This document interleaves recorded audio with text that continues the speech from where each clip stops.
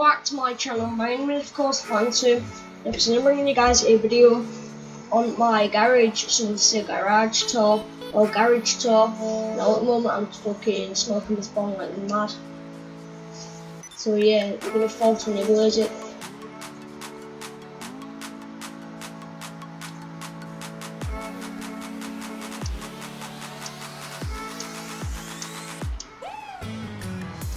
Okay, so enough of this bong now. I've been smoking it for like three hours.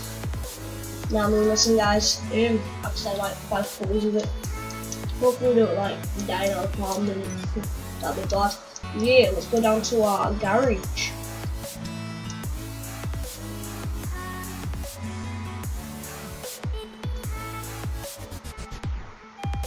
Okay, so we are now in our garage and we'll start off with in first person and over here we have my Roosevelt. This is not the modded version, this is the normal version of the Roosevelt.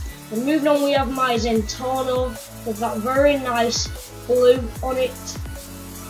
Moving on we've got my new Voodoo, this is part of the Lowriders DLC. And in there as you can see it's got the bobblehead.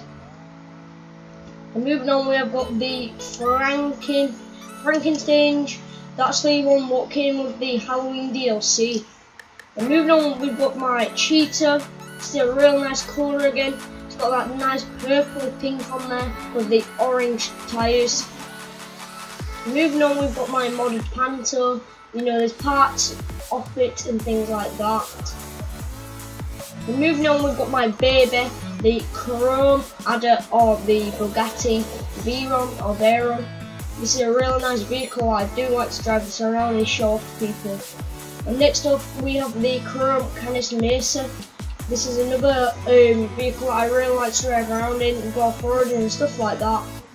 Now, as you can see here, we've got my armoured Kuruma. It's a really nice chrome blue on there. And moving on, we've also got the T20, Progen T20. That's one of my favourite vehicles at the moment now.